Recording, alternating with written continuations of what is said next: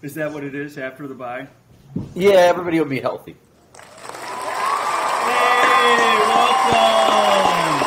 We're glad to have Al Dog in the house today. Thanks for joining us. Number six on the episode list. Uh, Draft Dodgers, and a special shout out to our friends in How is this clapping going on for? Fort Myers, Corey Bay, who's listening tonight. So thank you for that. Al, welcome. Could you uh, tell us a little bit about yourself? And thanks for joining us. Well, I've been in this league for several years now. I don't know, somewhere probably I want to say ten years, but it might be eight. Um, I, I've been I've been a real fan of the Draft Dodgers since the since it since its origin. I've been uh, intentionally taking taking it easy on Wednesday evenings, waiting for the for the download, uh, listening intently. I, I generally it's interesting. I, I usually put on my, my earphones. Maybe maybe you can even call them ear muffs. But uh, I put those on and I listen and I and I and I and I pay attention to what people say. And, and it's also nice because we've gotten a couple different people going. So thanks for having me. Hey, what was the. Oh, well done. Well played. What was the one nugget from Draft Dodgers, from all the episodes you've listened to, that was actionable on your end? Actionable. You mean something I learned? Yeah, and then maybe you did something based on what you've learned here with this educational podcast. Uh, well, the main thing, to be honest with you, is you know I called my mom because she's she's pretty old, and I learned that in Oregon they were having a heat wave, and I told her stay out of the heat wave, stay away. And you learned that here. That's that's wonderful. I appreciate that. Well, I actually learned that on draft day, the actual draft day. That's just reminded me to, to call my mother and to make sure that she she was in, in an air conditioned facility because she was you know I, I wanted to make sure she was safe Not all. That's considerate because not all people have the same uh, outlook for their mothers. No, a lot. So of that's the number one. That's the number one. You, you know what? You, you live hard, you play hard, and you put your mom in harm's way. That's my. That's like you know, paramount to me. It really is. Well, I appreciate that. I, I, I you said one thing, and that's probably the most important. So Terry, how are you doing tonight? I like the uh, the Cooper old retro Cooper Kupp jersey. 18. Yes. Well, I'm doing well. I got a chance to wear this. Uh, second time I've rocked it, really. I had a work draft and I packed it up text style in my bag. And when I when I pulled the before I pulled the trigger on him at four overall, I threw this on. And, and the reason I have it is because Al uh, Al sent it to me. He told me he was just as hyped as as I was last year with the Rams and having Cooper Kupp. So he said if they win the Super Bowl, he will send me a Cooper Kupp jersey, and he did, and we both came away uh, champions. So If, if you can't out. see that, uh, Terry's uh, boasting. You know, pride goeth before the fall with his trophy that he's holding up. I'm just glad the thing's not spinning anymore. So I appreciate Good. that. Quick question for Terry. Um, do you bring that to work with you? Do you bring the trophy to work with you daily? I don't. Um, I, I know that you kept yours in your office. I work at a nuclear plant, for those that don't know, and uh, the multiple levels of security that I'd have to put it through um, probably wouldn't be good on it. It's poor health already. I know that it was disassembled and very expensively shipped off to uh, Clayton previously. It's been taken apart many times, and I, I kind of got it tightened up a little bit. It's not just as easy as tightening a couple nuts. I think I'm going to still take it to a trophy shop. The uh, inside spindle in the football itself spins. I'm either going to epoxy that so it doesn't, but it's it's uh, in a lot better shape than it was when I got it, and I hope to hope to keep it that way. So one of the things that I think maybe the first thing we can talk about is: Do we go to a championship belt? Do we change the trophy? Do we, you know, do we hang it up or do we just keep on passing this around like uh, Cam Grugier Hill? I, I like the trophy. I think what I learned taking it apart is you can actually add another stack to this sucker, and I think that there's let's see, there's one, two, three, four. There's four years left on it, and I don't know. It's nice to look back at the history. You guys had me. You guys had me uh, tell you what year the league started, and I don't know. To me, I like looking back and seeing who did what when. Interesting names on here too. Going back to see what people called themselves back in the day. Uh, Truth be told is uh, Truth's name in 2009. That one stuck out to me. I I personally would would ask for a, a new trophy belt something. This is looking shaky. Um, like you said, there's only four years left, and it probably should be called the Camus Grugier Hill Hoor Trophy from now on. I like that. That, that Can I bring something up? Because I just thought of it. I, I meant to bring this up when, when Truth was on, and I, I should really save it for when he's back on. But what do you guys think of of the name Planet's Toughest League? Because when I started, it was I think I've been here. Tw- uh, I, I got in here the year after Chad won his first title, so that was in Junebug 2011. I think I was my first year, but uh, or second title, but it was Junebug Bowl. I don't know where that came from, but I don't know why it changed either. Planet's Toughest League to me is a little lame. I don't know what you guys think. So I don't know if you know this about Chad. He was once on a radio show. He was with a uh, in Nashville, sports radio. He had an hour, hour and a half on uh, the AM dial, and he was with a friend of his who used to play in the NFL. Had a cup of coffee with the Tennessee Titans, and his handle was Junebug. So there you Nice. go. I'd I'd probably vote to go back. I, I don't like the name now. I don't like the. You I think the name is stupid now. I, it doesn't make sense. Junebug Bowl sounds random and better. Although a, a, a strong second contender would be the Camus Grugier Hill Hoor Memorial Trophy. Way to class it up there with a whore So, instead of whore. so with that, um, do you know how many teams he's been on so far out of the twelve? How many uh, teams he's been on? The Hooer. Uh, my guess would be all of them. So, But let me right- let me let me take it back a little bit from why I picked him up. Um, uh, week one, he was the only every down linebacker that was out there that nobody picked up. No, Chad uh, drafted him.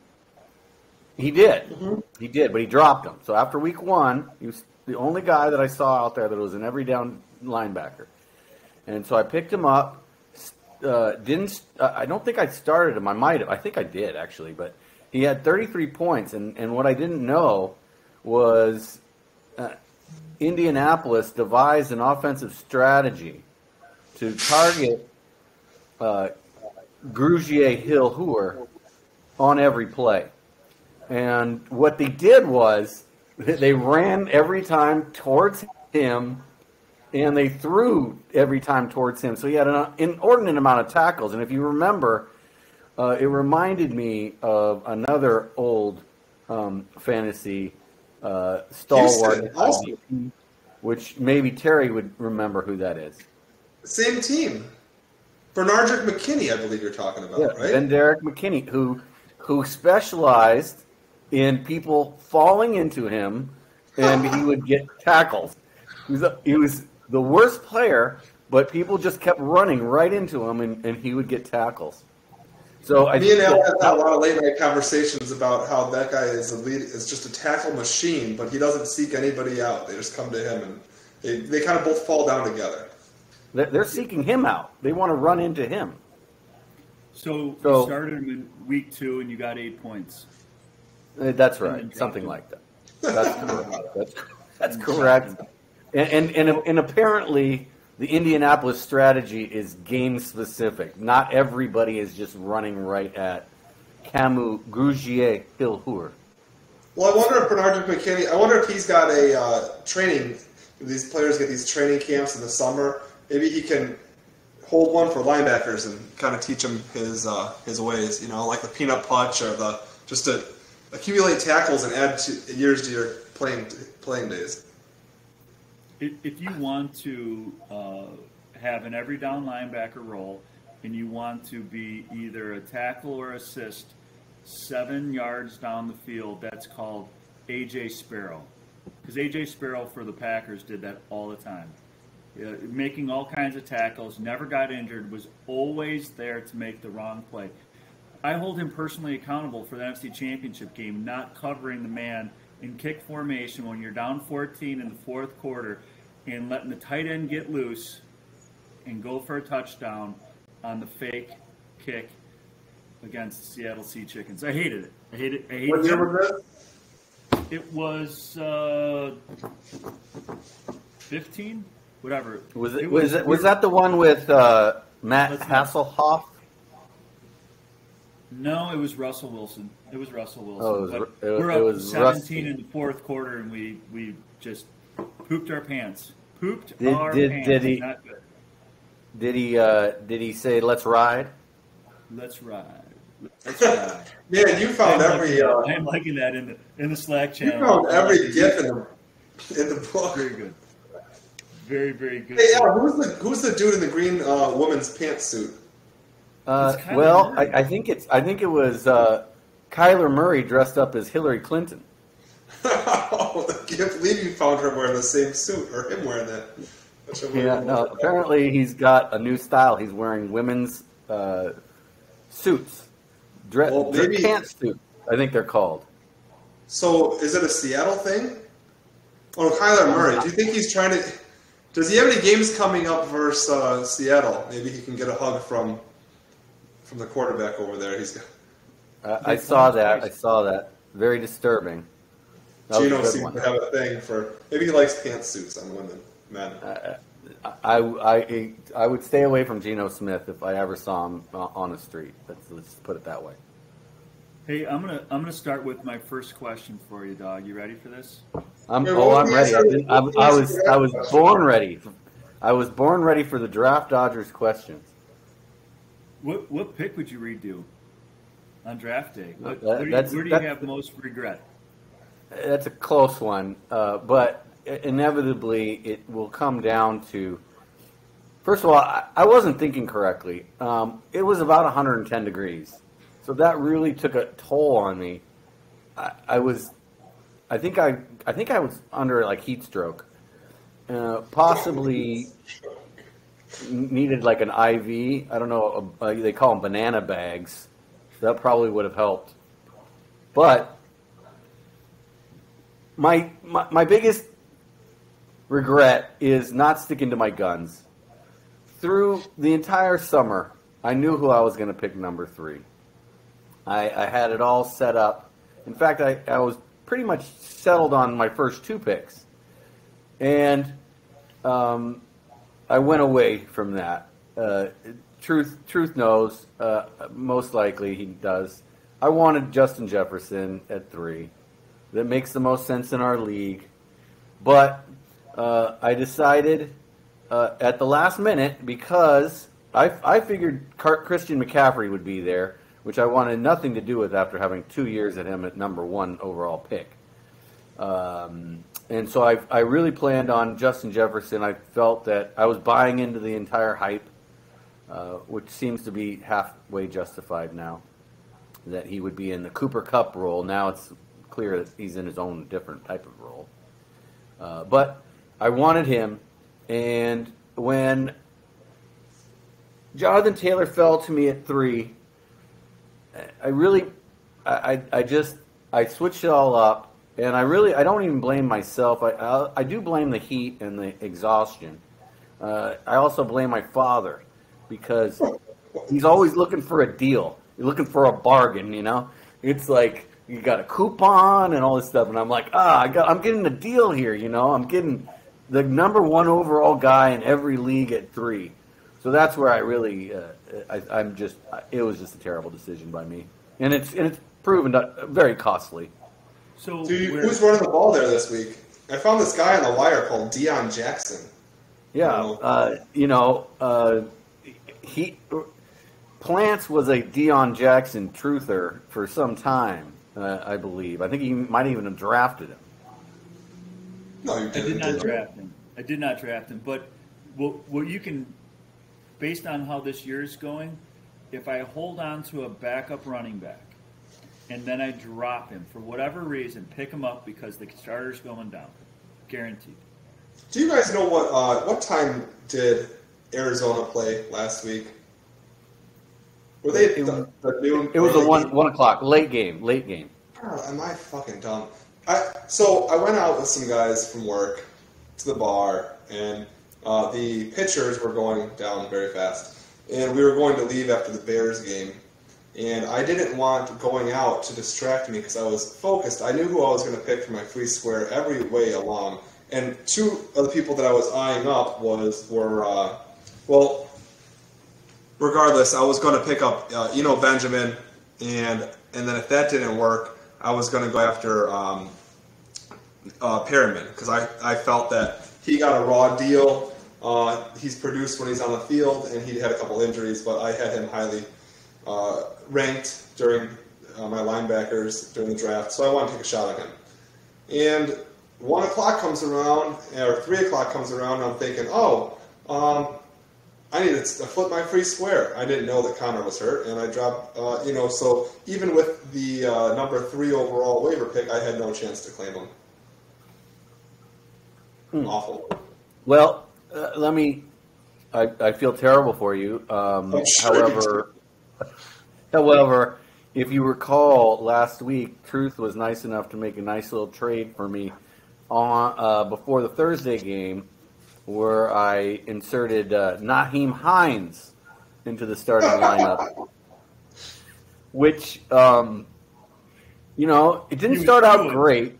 It didn't start out great. He it, they they immediately targeted him and he dropped the ball. And then on the on the third down, so three three total snaps, they targeted him, but so did uh, the defense.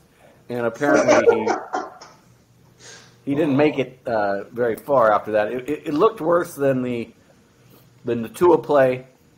Uh, even if it didn't, uh, the Tua situation. If if you're if you're hit in the head, people are going to be taken out of the game. This is going to this is going to change fantasy football uh, significantly.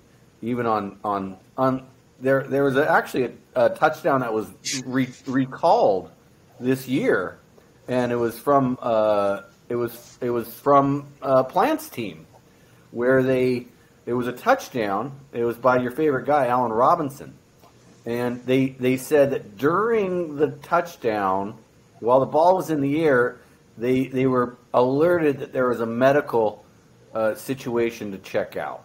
So they they got rid of the touchdown. I, I didn't know that, and I find that disturbing. Um, I thought you were going on the uh, Olave. Did either one of you Me guys too. see that touchdown? That looked bad. I can't believe they let him. That how how is that a How was that a touchdown? touchdown? Yeah, I don't know. He, I don't know. You I didn't see that's- that play. So he gets rammed to the ground head first. He has the ball secured, but once his head hits the ground in the end zone, he loses control and goes into a convulsion. And they called it a touchdown. I, it doesn't make any sense to me. Well, did the ball cross the goal goal line? It did, but he didn't. Um, he didn't. The Calvin Johnson rule. He didn't. He didn't Yeah. maintain Retain the full- possession? Yeah, whatever that is, he didn't do that, and uh, he's been a great Well, rookie that's a- That he's great. Oh, that's an interesting defensive strategy that we might want to, you know, somebody might want to think about. Is anytime somebody catches it in the end zone, you just pile drive them into the turf. Do you know who had a good career at that? Was it uh, Mayweather? Meriweather? That dude used to hit like a missile. The safety. He was uh, on Washington for a while, I believe. He was on the Bears for a short period of time. Brandon Meriweather, I think. Are- I don't know, oh, that- that bring- that brings up another point. Are you excited about the uh, the Bears Thursday night game with Washington, Terry? Um, yeah, I mean, I like the island games. You guys talked about the London game, which I actually enjoyed a little bit this week. I used to hate the London games, but I was up and I watched a little bit of it. Um, it was very enjoyable. I liked the ending more than the beginning. I was still, you know, just waking up. It ended well, last week's London game. But yeah, Thursday, I think, uh, I don't know, you just want to see a little bit of improvement, a little bit of signs of hope each week as a Bears fan, trying to hope that you have something in this quarterback. When you finish in the top ten, uh, uh, you know, draft picks from next year, you're, you're not gonna, have to Aren't try they- to pull aren't they- quarterback out of hat. Aren't they three and two? Yeah, but I mean, They are not no, three, they're two and three. two and three. That's Two and three. And Carson Wentz seems to be Carson Wentzing all over himself again. So we'll see. I don't know. I'll be. I, I am interested for some things. I want to see this Brian Robinson. How do you run after getting shot through your kneecap? That's interesting. Y- You're talking about bulletproof Robinson. Right. Is that a superpower? Uh, he And- apparently and they came, he apparently came out of the tunnel last week. I don't know if you saw this I heard to it. uh, Fifty Cent song No. about about Fifty Cent getting shot. So I thought that was interesting. Interesting. that is uh, interesting. interesting DJ selection. That, that was his walk-up music, guys. In our league today, the number six overall point quarterback is whom? Geno Smith. Um, well, I'm Don't look. I, I can't look. I, I'm, I, I would probably. I don't think it's Geno Smith. Um, man, I, I'll just go with Geno Smith, just 'cause- to go along with Terry. Carson Wentz, Uh, okay, Still. so free agent. so hold saying- on, hold on. Listen, I, I have I have a clarification. So this is a good time to bring this up. This is a good time to bring this up because I, I brought a couple questions for the Stat Master. Oh, Uh, you can call it Stump the Stat Master. You can call it whatever you want. I like Stop this. Maybe it's the that new master. segment. So my question is, and maybe I got it wrong, was uh, name a quarterback that's not currently rostered uh, and is in the top five in overall points in our league. it's Carson Wentz. Right, but you said six. So he's at number six. I don't think he's at number five. I think he's at number six. I think he's at number. I think he's. I think he's. I think maybe you're right. Let's check. I, I want to confirm that. No, but I mean that's it. Just goes to you confirm, and I'll I'll hey, take the dead air. It goes to the fact. No, that no, no. It's it's it's good. Uh, but I, yes, it confirms the, what's going on in the in the league. We've got we've got this It- and so terrible a terrible quarterback. He's number five. So That's what I thought. That's my question was was was name one that was currently in the top five. So we got rid of that question. Now let's go to the next one. So you stumped the stat master with his own I'm question. not- I am not buying that because I know how to count. Okay, well, Well, it's I'm uh, telling Allen, you. Mahomes, Jackson, Hurts, Wentz, Brady. Yeah. So he's he's he's number five overall.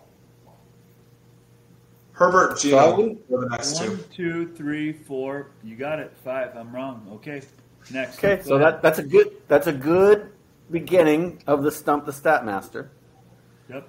Although I think I might have fumbled that a little bit as well. So we'll just ignore that one and we're going to question number two. And no no peekies as they call call it. No looksies. Um, question number two, stump the stat master is uh, we've got a running back that is in the top five in our league that was drafted at number 96 overall. Name that running back. Pierce. I know. Nope. Is it It's not Pierce. Jacobs? It's jo- it's Josh Jacobs. So good job, Terry. Um, you know, Terry. Maybe Terry's the stat master uh, today, but who knows? Uh, I don't. So I'm you almost, guys are gonna have to make my names up for me. I don't make them up. uh, so I got I got another one. These these are going to get harder, by the way. There's only there's only a few more, but this one I, I'm only going to give to Ron. Play along at home if you want. Uh, I'm only going to give this one to, to Plants, and this is a defensive question. Oh come on. Name the player. No, well, first of all, no defensive player has 100 points yet. Just to think about that for a minute. Nobody has 100 points. So even this top person who has 99.5, and again, don't look, uh, they're averaging just under 20 points a week. So maybe that factors into your defensive calculations. Maybe it doesn't. I don't know. but this person leads the league in fantasy points, number one overall. Who is? Sneed. Yes. Do you know his first name? Ladarius, LaGunter, La something. I'll give I'll, I'll give you credit for I'll give you credit for Sneed.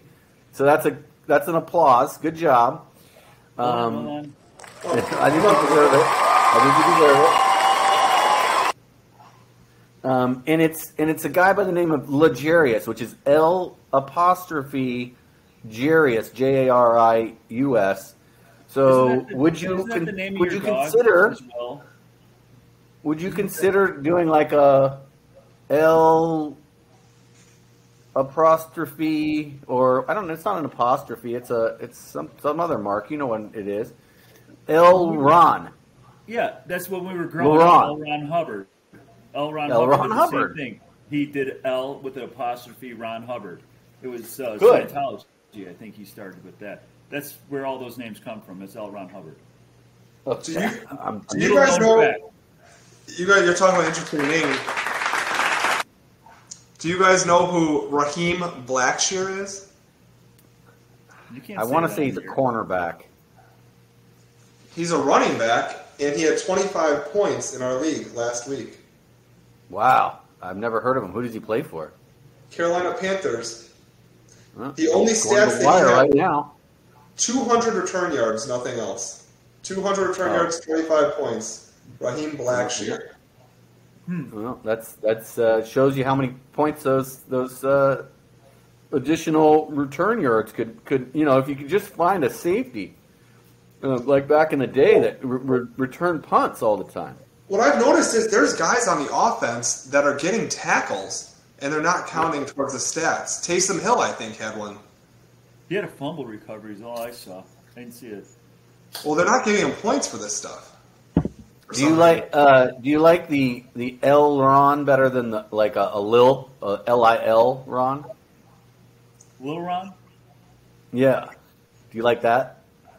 Yeah, L. Ron sounds better. You know, because you know I'm from Chicago and it's the L, right? So I'm I'm more of a hard L, not the hard ER. I'm just an A guy, but the hard L for sure. I'm more of an EL.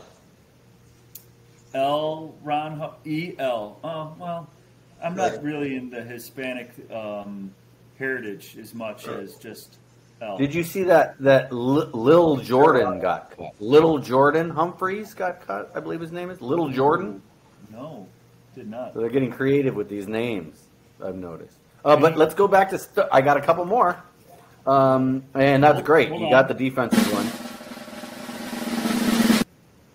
uh, and this this is getting real tough. I mean, we're digging deep. Wide receiver question, uh, and it's not a. This is why it's so difficult, is because this isn't a, a season total. This is just last week. This is a wide receiver that is available in our league that was in the top 10 in receiver points last week. Is he still available? He's still available as far as I, I unless somebody picked him up when I last checked. I believe he's still available. Top ten last week. Um,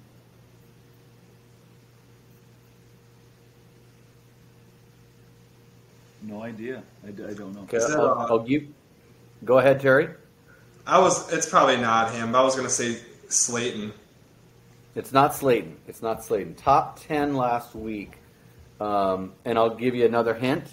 He's playing tomorrow night. Oh, so- I, it's it's that dude from Washington that took the rookie spot. Uh, what's his name?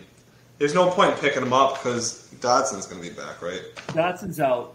I know, Dotson's but out. I had to put him on IR. Allowed me to get a kicker. Yeah, so Dyami Brown. Dyami Brown. So these are not easy questions. You know, he's named after Diana Ross. I, I that's how I heard that. I heard that. Um, and the final one, the final one is even more difficult.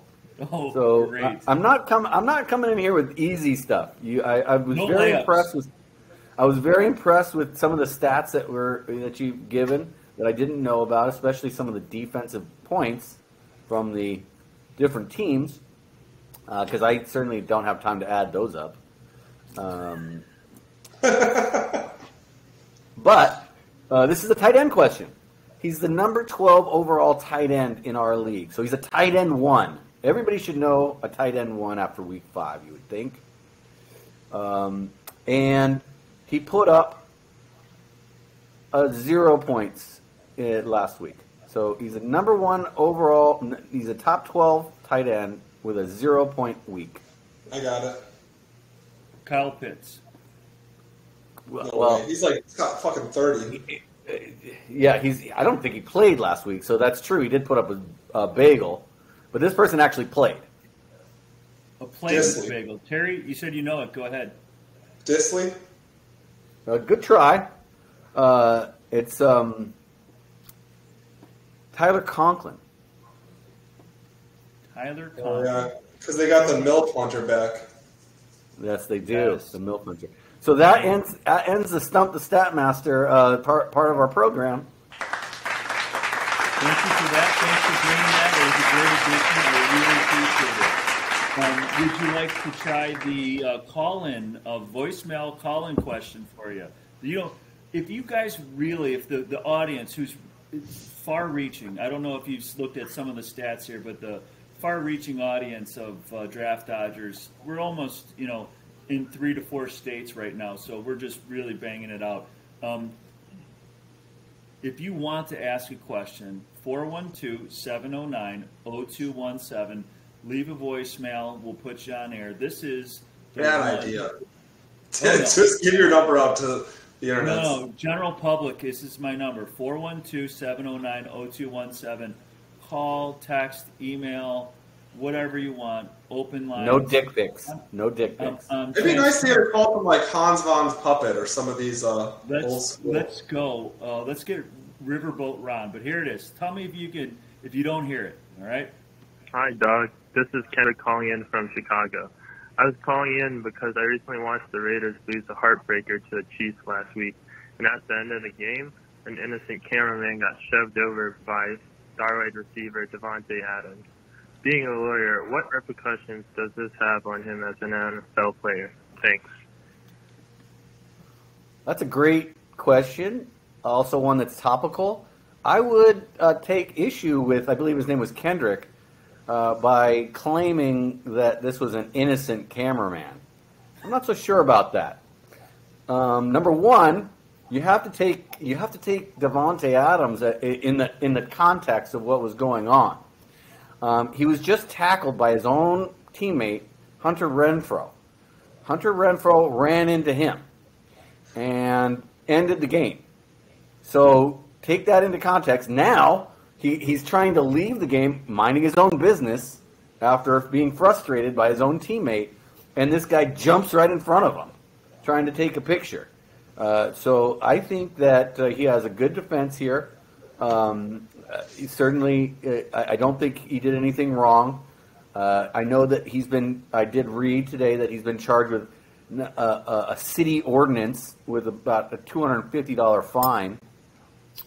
Uh, I think that that is more than sufficient. This guy is apparently got whiplash, and he decided to, to try to. Uh, you know, he's probably from Kansas City. I don't know. I, I heard he was an ESPN like freelancer. Uh, they need to get these people out of the way when people are, are walking or running towards the locker room. Get the hell out of there. We've had several people that are that have been being thrown thrown stuff at by the opposing fans. So it makes sense that he's trying to get out of there as soon as possible. Uh, no no punishment for Davante Adams. Uh, I would say, you know, the, this minor city ordinance misdemeanor should be dismissed. Uh, he somebody's going to pay this this guy off a few bucks, and uh, if we really want to prosecute anybody, I, I think it would be Hunter Renfrow. Does he get two points for the tackle? Hunter Renfrow, Yes. Uh, I think he should. It's- clearly, it was a solo tackle. It wasn't a half tackle. Did you start him?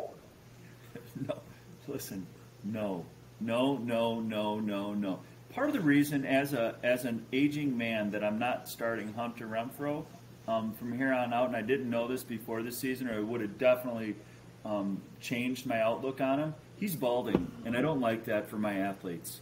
Um, he's got um, male pattern baldness. I know because I have it myself, and I'm not going to draft myself um, unless it was a sales fantasy football uh, league. Then I would draft myself. But um, a couple follow up questions to that. If you were the judge, and it was in front of you, and you were going against Davante Adams this week, would you put him in jail for seven days?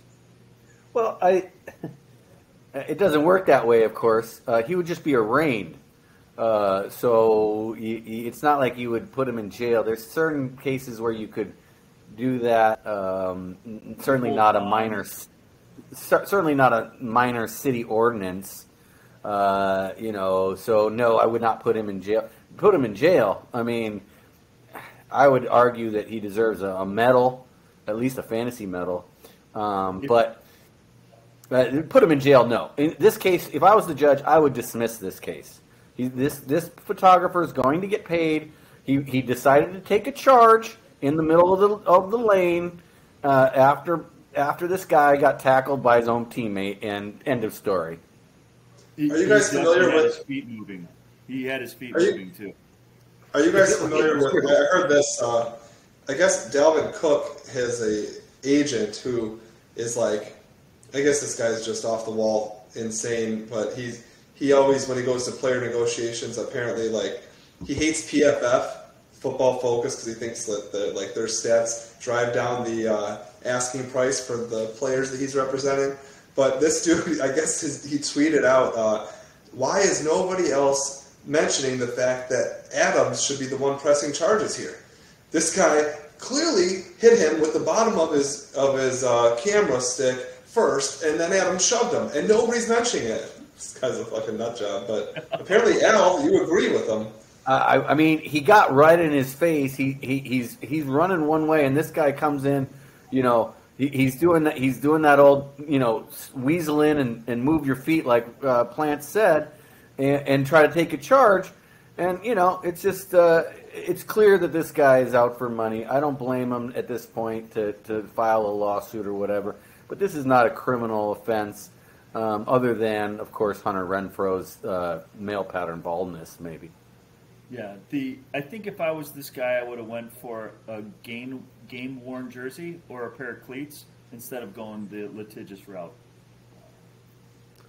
I agree. My, my two cents. Well, maybe he came from TMZ. You guys think of that? Maybe this guy's used to this type of camera uh, footage where you jump in people's face out of bushes and you try to get they get paid for the more outrageous the filming is. Uh, I'll, I don't know. I heard he was like an ESPN freelancer, but I do agree with Terry that the actions of this photographer are outrageous. Outrageous. I, I agree with that. So um, I have a couple more questions, but Terry, any anything that you have uh, you'd like to ask our distinguished uh, guest here? I have a couple of questions for him, but there's there's one topic I just kind of like to dig into a little bit and, and kind of in an open forum talk about just what I I heard something. It wasn't my idea. I think it was like Matt Harmon or somebody originally brought this up. I thought it was crazy initially, but I looked into it and I think there might be some legitimacy to it. So I just want to kind of dive into some of the details of this and get your guys' takes, if that's all right. So, nice. All right. So, Brady and Gisele. All right. Gisele is this Brazilian model who meets Brady in 06. They get married in 2009. Everybody knows Tom Brady. Can I have a point yes. of order? When he when he meets her or impregnates her, he also has impregnated another supermodel at the exact same time. Is that correct? Uh, I believe so. I think he was with the other girl first, and then he chose Gisele over her. But um, that I didn't go that far back because it's not necessary for where this story ultimately ends up, um, which is kind of what I want your guys' opinion on. So they met in 2006, got married in 2009. We all know Brady drafted in uh, 2000, sixth round pick out of Michigan everybody's seen the scrawny draft profile pick of him, right? The guy's scrawny dweeb comes in. he ends up going to Patriots and he gets himself uh, in there after his first year and gets a title in 2002, 2004, 2005. So he's on a little bit of a streak there, pretty hot streak before he even meets Gisele. But after he meets Gisele, the guy goes on to seven more Super Bowls. He ends up seven and three. All the girls like him. He's got the looks. He changes his hairstyle every year. Still looks sharp. Um, well, what I didn't know and what was brought up was that apparently Gisele was into witchcraft, is into witchcraft. And I didn't believe it. It sounded a little goofy to me, so I looked into it. Uh, apparently, Gisele performs magical rituals to support Brady's health and athleticism. Brady said in an interview that she has him carry stones for protection and health. She built an altar featuring photos of their family, makes them tinctures to drink, and apparently she told him when they were playing Seattle a few years back that this is his year, but he better listen to her and he better do all the things that she says. And then he says, well, it worked, so he kept doing it. So now he tells her he's going to retire. He retires. Second thoughts goes back, crosses her, and word on the street is that she might have a little bit to do with what's going on in Tampa. So I was thinking about it, and I'm like, okay, well, how could she be impacting him? Well, after he took his little leave of absence, what's the first thing that you said to me, Ron, when he came back? Something is wrong with the way this dude looks. He had work done on his face. He lost his looks. He looks creepy now all of a sudden. So this guy's always been in the camera, looking sharp, looking good, getting supermodel after supermodel, and now he breaks up with Gisele and his looks fade first. And then all of his receivers fade. He's got Evans gets suspended for a game. Godwin comes back from a knee injury, looks good, pops a hammy.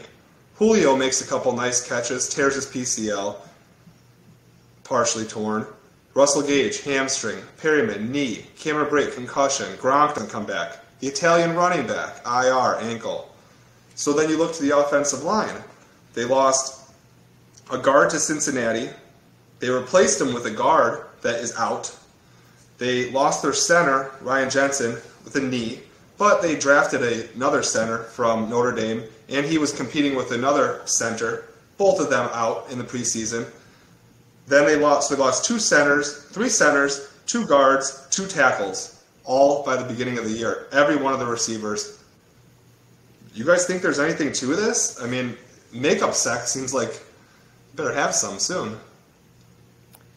I, I got to say, commendable job on the, the, the dirt and the analogy, Terry. Well done. I appreciate that. And I'm a big fan of the bad juju. And um, I think there's a lot of uh, shenanigans going on there. And Brazil is known for their witches. I don't know if you know that, but the witch from The Wizard of Oz was originally from Brazil.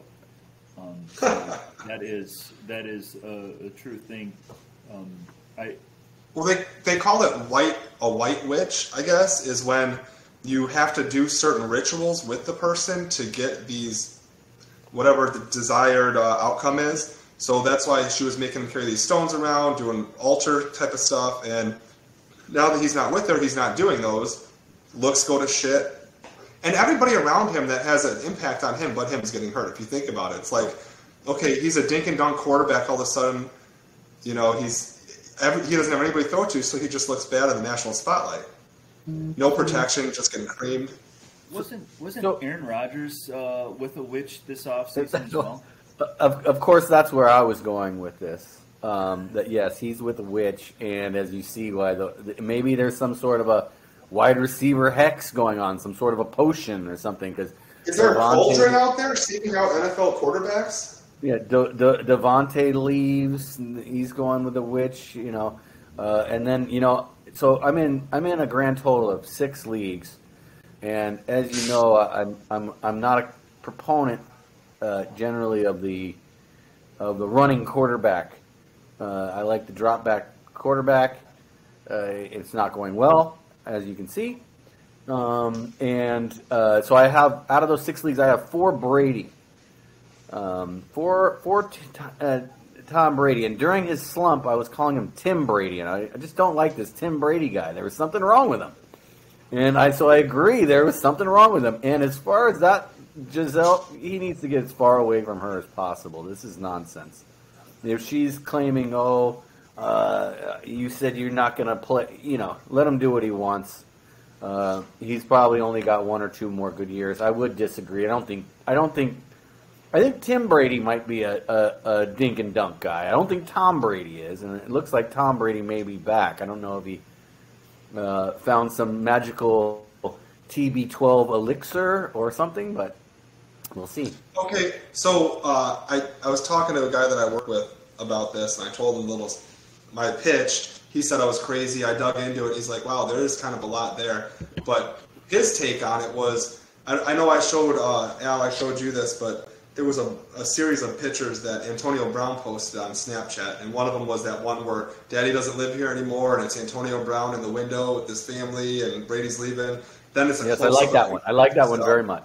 So, so it's like he goes, well, what if what if AB because AB lived with them, right? Brady took him in. So what a what an asshole. But so Brady takes him in. But what if he really did end up getting with Gisele, and Gisele somehow cleared his CTE, made him a now this is not my take, but he's like, what if if that happened? Now you really know she's a witch because that dude's been off the rocker hard for a while.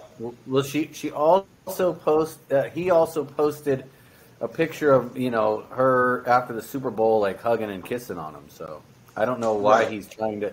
I don't know why he's trying to, uh, uh, you know, anger uh, one of his benefactors, uh, Tom Brady. But uh, I think it's obnoxious. But I don't know if you saw, but he was in a pool, uh, also naked, assaulting some other female. So, you know, as far as Antonio Brown, I'm. I, I mean, it's it's. It, it, this really could be a CTE thing, but he's very very odd individual. That's all I'll say.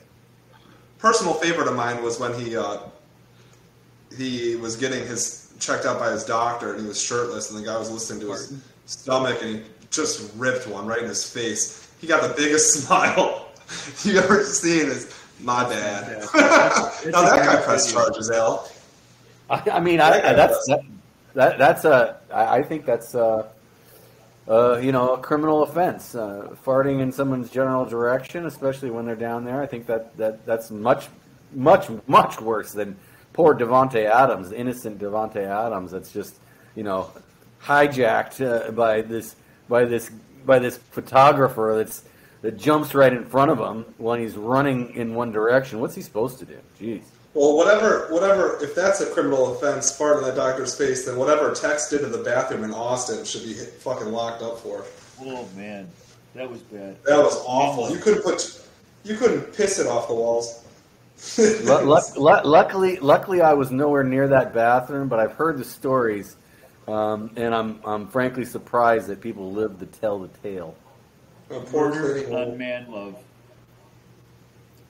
I want to talk about the Rams for a second. Can we talk about that, Al? What do you think's sure, going on there? Sure, uh, sure. Uh, you know, I, am happy to. Is so? Is it just uh, the offensive line? Yeah.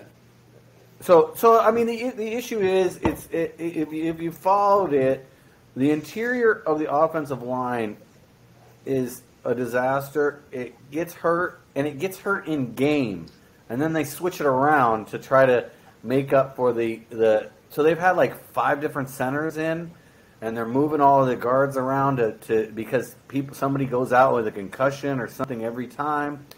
Uh, so it's a disaster. Um, I'm hopeful again that uh, after they beat Carolina this week and then they go on a bye week, they'll have people back and uh, things will get better. And that's all we can hope for because right now, this is not the uh, this is not as fun as watching last year's Rams team what number quarterback is Stafford in our league? I mean, I can't count obviously, but it's going to be. Uh, well, you probably can't count that high.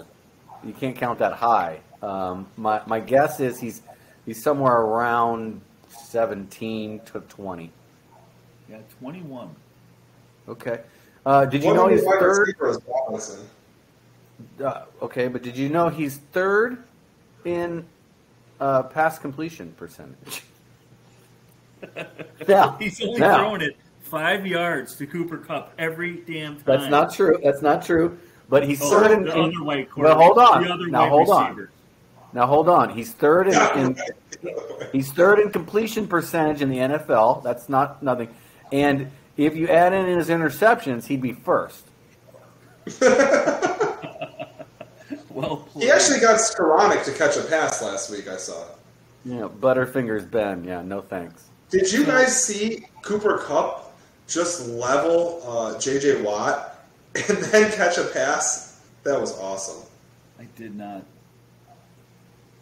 Uh, I did Yeah. not. I'm a little concerned by him. It looked like he it looked like Cooper Kupp may have had a, a bit of a groin issue, and he didn't practice today. So A Rob is going to, you know, I I looked at that. Even if he was fully healthy and it was linemen that Stafford would rather throw to the third string center than to A Rob.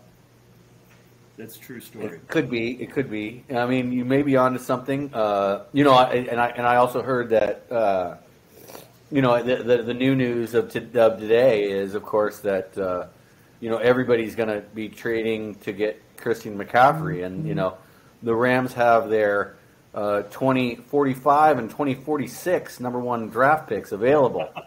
So that, that would also that would also, as an aside, would complete the um, the every reception goes to a white person Yes. motto. No, that, that there is something to be said for that.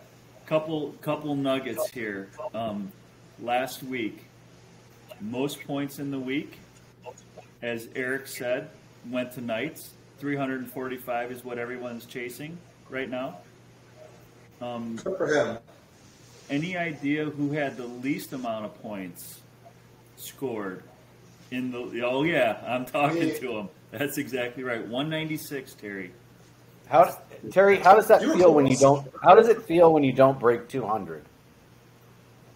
Yeah, it's not great. Uh, I think Ron, were you right there with me? I was over Something about 200. this podcast. Uh, no, I was. Speaking I, of I- witchcraft, as Monday night showed, I was this close. It on Sunday I had a coin flip, and I literally had a coin flip. Out of the waiver wire guys that I picked up, do I start this uh, guy from Houston or do I start Marvin Jones? Flip the coin, Houston, and the guy did okay. Marvin Jones did 35. I start him or T Huggins or Higgins does anything, I get a win. But T Higgins, Marvin Jones at thirty-five. Marvin Jones at 35. Don't even start. with me. Jesus, How about this? I Puss didn't beat that. me, I didn't even know he was in the league. and he scored Jackson. one touchdown. I was beat by Team Puss, and they scored one touchdown last week for the team. How's that even possible? Does that last include week defense? Does that include defensive players? Puss, Because he he's been known to score on defense sometimes. Dugger had a defensive one recently. I saw after you dropped him uh, there. yeah, he did. Yeah. Well, that's that's what happens. I drop them, they score a touchdown. Puss on You know- his bench had 161 points on his bench, though. This week, it, it was beaten by Tex, who had 165 points on his bench. How that's because he's fucker- got that's because he's got Taysom Hill, which by Oh, the way, yeah. Pe- people started him in other leagues against me, and I was like, "Oh, please do this," and then of course this asshole. so that's how my that's how my year is going in fantasy football. It's just like, oh yeah, sure. Who who had Start, start a guy that gets five touches a game, but he gets four touchdowns. What- Okay. Did, did any of you watch? Did any of you guys watch the Lions game? I understand that Amon-Ra St. Brown had a bad ankle. He was probably a decoy. He needs the bye week. That's fine. But I mean, Williams had nothing either. So that was my low score. My defense was a little less than normal, and I got almost nothing out of those two players. I mean, you can't expect to produce with that. No, it's just sometimes you tip your cap and you're like, you know what, kind of sucked this week. Whatever, I'm gonna go Yeah, after. and. I was at the, like I said, I was in the bar making bad decisions anyway. And I couldn't see all the all the games. I wanted to. I kept asking for. Maybe you know the answer to this, Al, because you go out to watch games. I wanted to watch the Lions game because I had a lot of players going, and they had something rotating games, and it wasn't red zone. It was she. And I asked the bartender. It was RC something, and she told me it's called the Red Line. And I'm like, I don't know. I think that's a train in Chicago, but it was rolling through the games, and it didn't let you really get into anything. Yeah, So- I, I, I, I don't know anything about that. I, I, I decided to go with the true strategy and stay home last weekend. Um, relaxing yet uh, uh, not rewarding.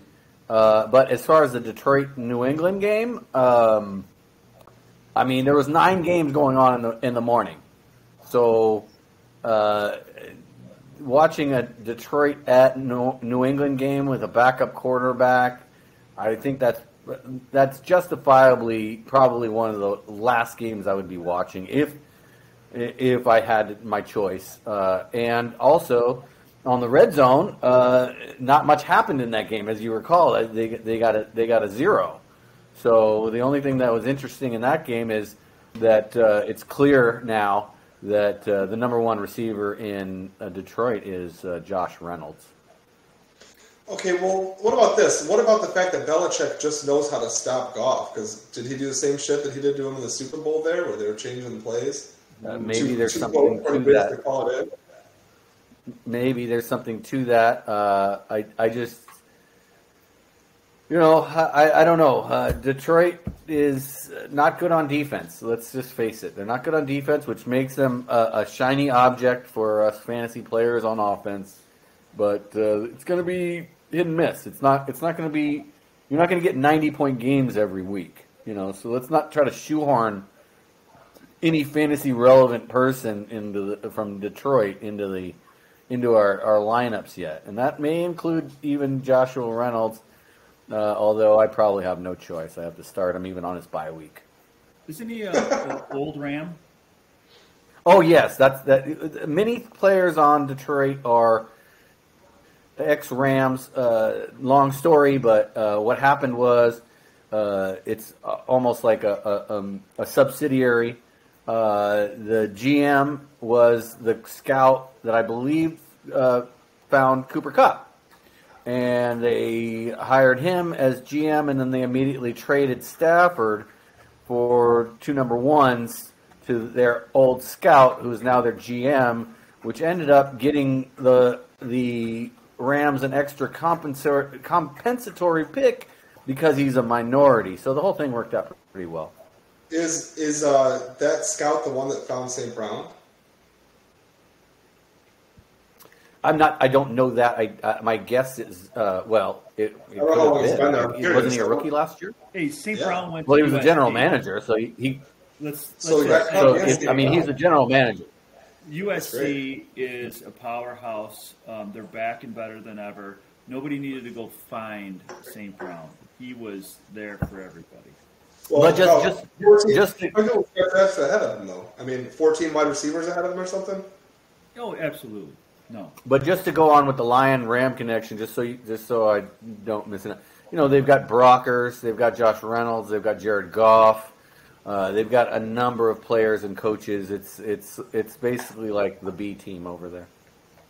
So can I don't know. Are, would you think that they're they might be better at this point? I mean, the records are they the same records? Whoa. Uh, I mean, you know, uh, I think one's two and three, and I think the Lions are one and four. Uh, I have heard, I have heard uh, sometimes because I, listen to the uh, fantasy uh, radio channel, and I have heard, uh, you know, recency bias. People saying, "Well, is Jared Goff actually better than Matt Stafford?" No. I don't know. I don't know if it's if it's an elbow thing. I don't know if it's an offensive line thing. That's what I kind of want. It's want. certainly not. It's the elbow's fine. It's an offensive line thing, but uh, the the better question is: Is Jared Goff a better fantasy quarterback at this point than than Matt The- Stafford? the real question- Not last week. Jared Goff or racist like Stafford. That's what I would like to know. How many how many teams, NFL teams, do you guys think are legitimately good? There's a lot of bad overall records in the league right now. I mean, I think you me? could say Kansas City and Buffalo, who are going to play this week, but like besides that, when you're looking at these teams, okay, Philly. Who, who else do you guys say? Okay, that team is good. It, Dallas. It, it, it's like I, I say to a lot of people because you know people are you know, I've got my Rams hat on or Rams tie or whatever, and people give me shit all over the place because they're not playing well. It's like I always say, it's not who you play, it's when you play them. It a lot of it has to do with injuries. Uh, you know, the Rams were healthy the entire uh, playoffs last year, and other teams weren't. Uh, so it has a lot to do with it. So you know, just because we're in week five now, and it looks like you know uh, Tex Bundy's just a, a, a, a you know a, unstoppable force. That doesn't He's mean killing that's people out there. He's killing them. He's literally killing people. It doesn't mean that that's going to continue.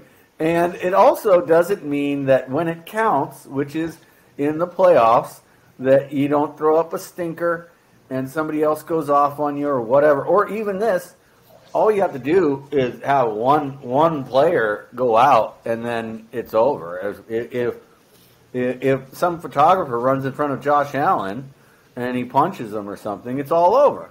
He would never do that. He's a nice guy. Those uh, those playoff games are just nerve wracking because you know it too. You know that any one of these guys can go off, like like Jonathan Taylor last week on a Saturday night. God, it's it's nerve wracking when you get into those games and you think you have a contender. The uh, the thing that's interesting is next week uh, Tex has Mageddon, and uh, Buffalo is out, and the Rams are out, and so he's got no Bobby Wagner and no uh, Josh Allen. So who are going to be the captains of his team going into bye week when they're in uh, Mexico with Jessica Simpson? You know, Well, if you happen? guys have your way, you guys will just trade him anything he needs because clearly, has he made a trade with everybody in the league besides me already? Or I, I, I don't think I've made a trade with him. I don't think so. so last night I decided, oh, he's hot on the trade market. Let me just open up the the gates, right? And I think I think he's drinking heavy and eating ice cream, and he just likes fucking with me because he just sends me all these messages that like I'm like, can we put this all this aside and just for real talk and see if something will help both of us? And he's like, uh, you know, Pierce is better than Aaron Jones. Pierce looks like Emmitt Smith. Your team sucks. You need to get struck. Like, just absolute insult after. And I, I almost blocked him again, but I didn't. Yeah, well, Pierce, Pierce, Pierce is right now running.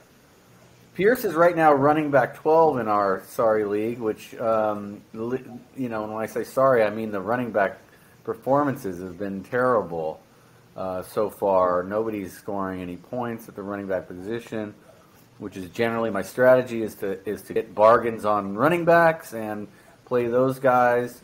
Um, which uh, brings me to the scoring, which in 2018 I averaged 309 points a game.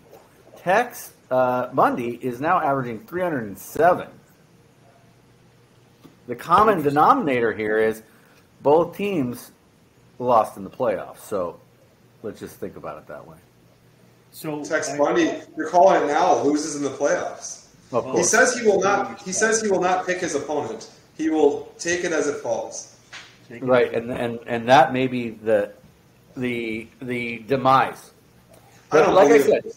this is week five. A lot can happen. There's eight teams that makes the playoffs. We don't know. I mean, for instance, Kenneth Walker's now the big big you know talk of fantasy football.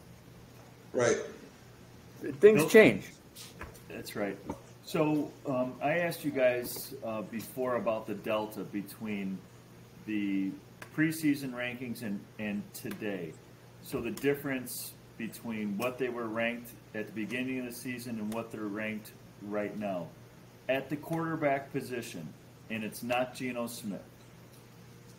Who has the biggest delta between where they were ranked and where they are, and this is to the positive. So they were ranked very low in our league, and now uh, where they're at today.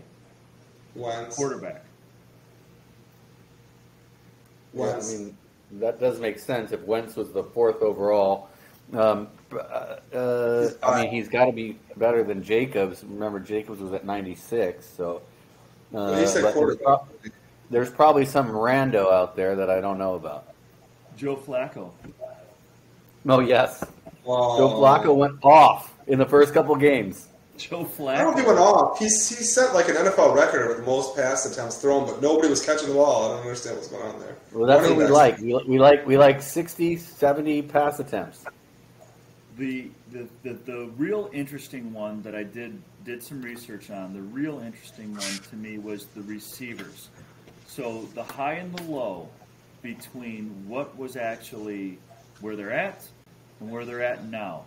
So there was a surprise in the top 25 of receivers points right now where they're actually so he's a top 25 receiver. I think he's 23, 24 right around there in our league, but wasn't even in the top like 200 um, coming into the league. So, any any guesses on that? Um, Yeah, is it um, Pickens? No. and, and It's one, of know those, it's it's one of those rookies, isn't it? is it London? Devin Duvernay. Yeah, Oh. yeah.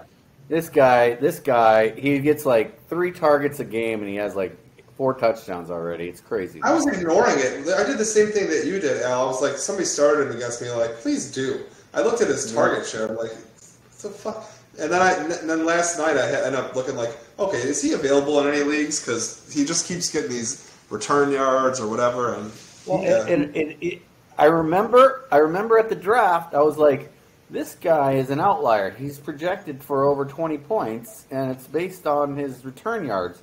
And so I thought about it, and I've seen him in other leagues, and of course people are starting him, and that's annoying. But I do think that he's viable right now because I think Bateman may be out um, or, or hurt.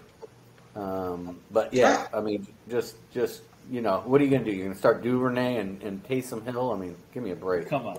No. I know that I know that, that Eric says that Yahoo's projections have been stat on for decades now, but You're how, awful. Alan, what do you think about? I'm looking at your lineup before the show, and I saw you got uh, DeeJay Dallas in there, which I'm a fan of him, by the way, but he's projected 20.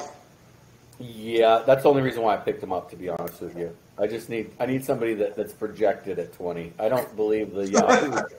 I don't believe the Yahoo uh, rankings, but he was there, and I said, "Wow, that's a big projection." And and oh, it's possible. you know, he he, he, he, he, can get a bunch of dump downs. I mean, that's he's the only guy that Yeah, ever dump downs. he does. I, I believe Homer Homer's hurt, um, and you know Kenneth Walker is going to be the, the the early down guy, but uh, you know it, it's not like Seattle's uh, uh, defense is any good, so it could be a it could be a situation where he could get a lot of dump downs, and those are valuable in our league. I don't know if Kenneth Walker is a pass catcher or not. I don't know enough about the guy, but uh, I do find it interesting, Al, that you like your offensive players with high projections, even if it doesn't make sense. But you tend to like your defensive players that nobody knows about that are projected zero but go off for 15, 20. But they they're certainly more uh, diamonds in the rough on the defensive side if you uh, watch the snap counts and the and the change of positions and everybody everybody's uh, well reported in the in the offensive side in fantasy football. It's the individual defensive player side that uh, really takes more time, and that's why one of the reasons why I like this league. And another thing I wanted to bring up was uh, when I when I when I when we tried to stump the stat master, which he got this question right. Uh, L'Jarius Sneed, I wanted to ask him what, what position he played. Safety cornerback. The slash. He's Yeah. got the comma. Well, that's exactly right. And so my my my next comment would be: Would it make sense to even add a cornerback position?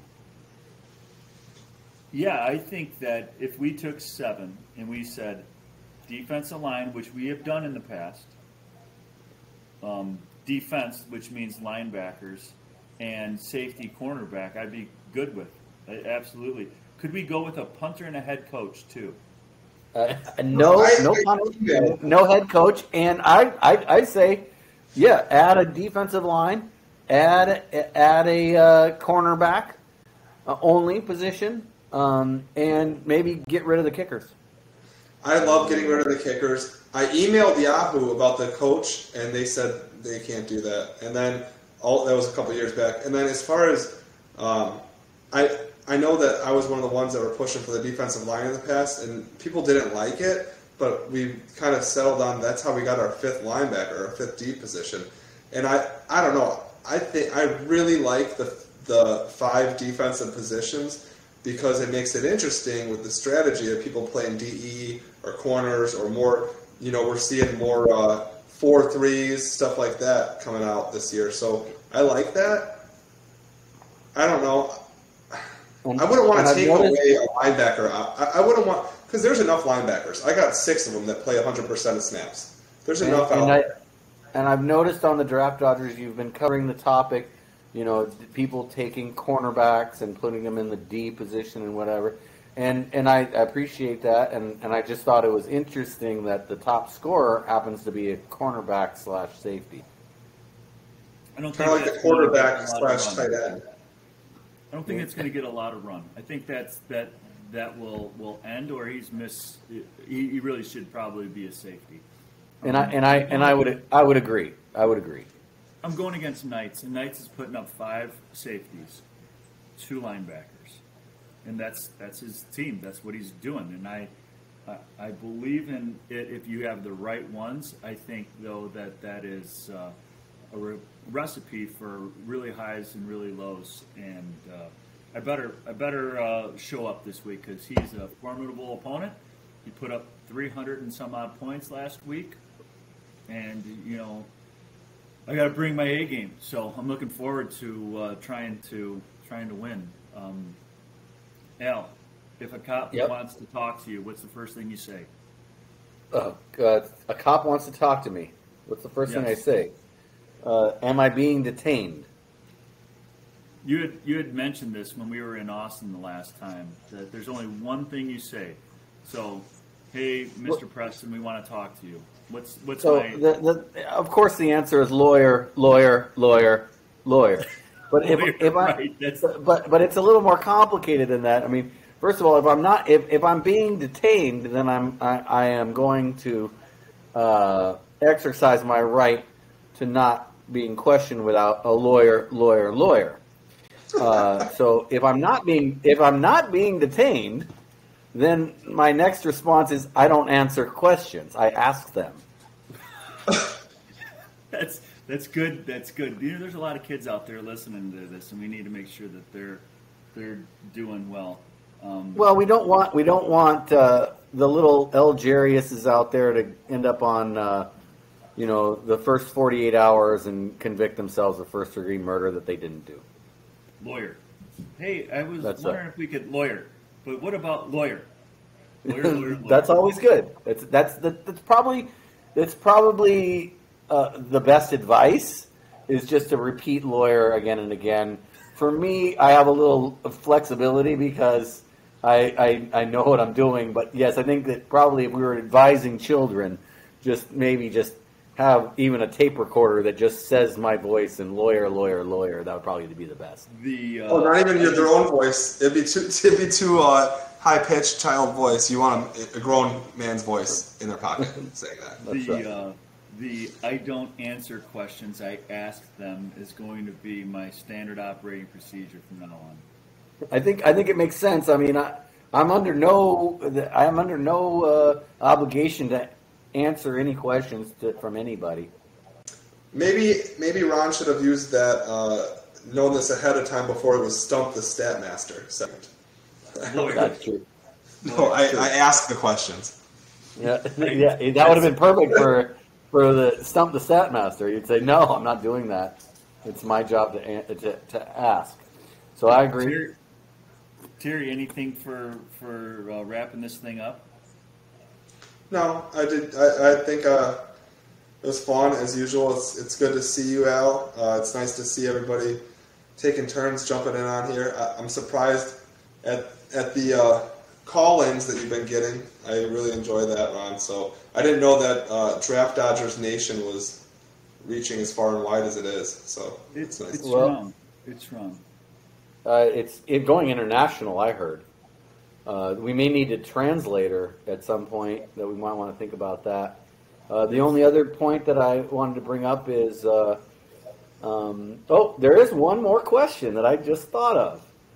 And it's regards an NFL player, uh, and it is a it has a criminal um, justice tie-in. Uh, you may have remembered a gentleman by the name of Jeffrey Dahmer, um, and uh, you know, once he said, "I told you we're going to listen to the Draft Dodgers podcast, and then you can leave." Uh, so that's one thing that he said. Uh, but uh, he was defended by uh, a gentleman uh, who also defended an NFL player. Can you name that player? James Lofton. Uh, I will make it even a bigger hint for the stat master. He played for the Packers. James Lofton. No, it wasn't James Lofton. Uh, but Uh, Mark you know, Chmura. That's right, Mark the Beast Chmura. You know, uh, one of the things that I learned from the Mark Chmura trial case, right, is that if you're an NFL player, don't go to a prom and get into a hot tub with a bunch of high school girls. It's going to end bad. Poor, poor Bad judgment. Poor, very poor. So judgment. was the love boat thing in, in Minnesota? Was that acceptable then? They were older. It was. Well, so you you have consenting adults doing things with um, other consenting adults who may or may not be getting paid to do those things. Um, high school prom, Terry. If you were in a hot tub at a prom party right now, that would look That bad. happened. But if you're an NFL, Is that what this dude did? I don't know. I don't know this guy's story. So Well, let's that's what he let's let's just make it clear, you know, because it's so long ago. But um, Chmura was found not guilty of those charges, um, and yes, he was in he was in a hot tub with a 17 year old. Uh, they did. She did claim that she was uh, sexually penetrated. Uh, however, number one, the age of consent in Wisconsin is 17. So that changes things a little bit.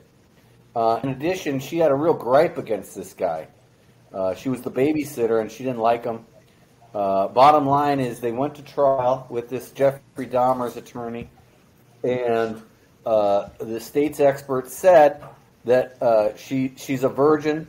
Uh, her hymen was not damaged in any way, but there but that that it was it was put possible that there was penetration, and to that, and the jury said, you know, Mark the Beast Chmura probably would destroy that hymen if he penetrated her. So he was found not guilty. Not guilty. So uh, can I can I tell you, uh, Terry, a little nugget on Jeffrey Dahmer? Uh, sure. Is I sure, but is this this whole eighteen hundred posts that Al has done about you have to watch us and you leave? Is that a Jeffrey Dahmer thing? Because I wasn't getting those either. Yeah, yes, it's it's from the uh, his document, not documentary. It's a show, and yes, that's what he tells his uh, victim The in the show that police. he has to watch a movie before he leaves. the police, after he is uh, found to be a cannibal and a murderer, go into his place, Terry, and they open up the fridge and they see a pizza made of human noses. How disgusting is that? Awful. And one Mine would no. one cop looks to the other and goes, "Look, a Dahmer nose pizza." I like love it. I think we should have left it at the uh, hymen joke. Uh, well, you know. Anyway, uh, uh, just just just to just to clear it up for Chmura and his uh, other co-defendant that was his buddy, they ended up um, being found guilty and paying a fine for uh, recklessly uh, or um, intentionally giving minors alcohol at a party because the age of consent, remember, is 17, but the age of drinking is 21. So. So yes, Ron's right. Not a good idea to go into your into the jacuzzi in, in underwear with uh, young girls. If you're an NFL player, probably a bad look. Uh, but I will say that the Packers cut him as a as a result of that. So again, another example of the Packers uh, organization just being completely, uh, you know, just backstabbing their own players. Oh no, it's integrity. You can't live. You What, can't, was this guy a good football player? uh, you know, he was he was fine. He was fine. He was. Uh, I want to say he was a Cal Bear. Is that correct? Is that where Mark Chmura went to? Cal. I, that sounds right. That sounds right. um, What's the what is the guy that that uh, showed up in Austin year two on a magazine on the coffee table that you guys were laughing about? That wasn't this guy, was it?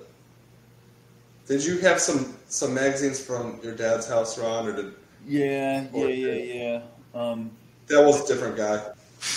it If it's if it's a ma- if it's a magazine from like ten years ago, Tex will uh, read that fantasy mag- magazine to see if he can glean any instincts on the locker room.